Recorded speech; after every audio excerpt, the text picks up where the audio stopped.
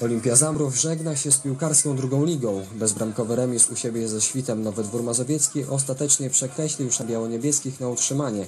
Choć niewiele brakowało, by Zambrowianie wygrali to spotkanie. Jednak piłkarze Olimpii podczas tego meczu mieli wyraźnie rozregulowane celowniki. Stworzyli sobie wiele dogodnych sytuacji, ale nie potrafili umieścić piłki w siatce rywali.